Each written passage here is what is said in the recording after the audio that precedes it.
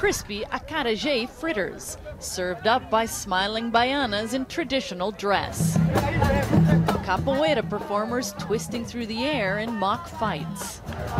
Some of the many sights awaiting visitors to Salvador, a World Cup city along Brazil's northeastern coast.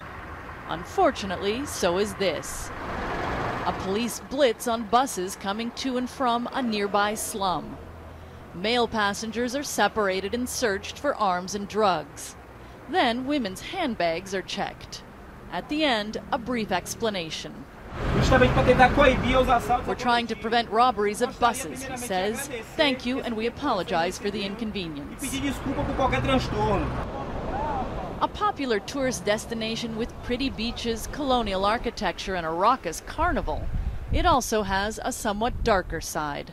In recent years, a surge in violent crime has turned Salvador into the murder capital of Brazil, raising red flags as the city gears up for the World Cup just six months away.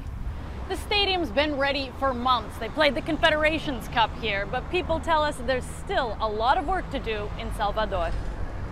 Crime is the main concern.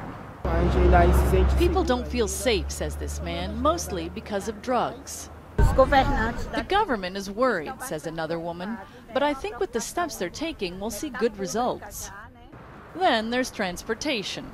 Construction on an urban train system began more than a decade ago, but still isn't operating. Salvador's new mayor says he's hoping to have it at least partially running in time for the football extravaganza. I think the balance is going to be positive, he says. The World Cup is going to allow people to see another Brazil they haven't seen. He says crime is finally starting to decline thanks to government crackdowns, and it's concentrated in the slums.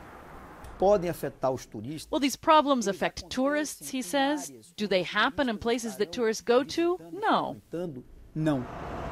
At least that's the hope for the thousands of fans who will want to follow their teams up close during the World Cup.